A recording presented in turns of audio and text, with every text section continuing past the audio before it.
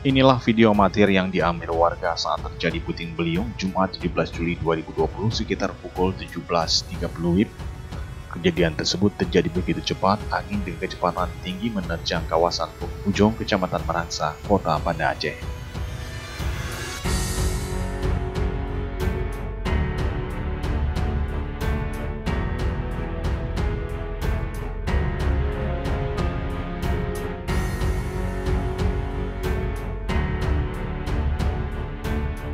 Berdasarkan data dari Posko Tagana Dinas Sosial Banda Aceh, angin puting beliung merusak 6 unit rumah warga di Jalan Bungi Ujung, Dusun Nurul Iman. Rata-rata rumah yang terkena puting beliung dalam kondisi rusak berat atapnya terbuka di bawah angin.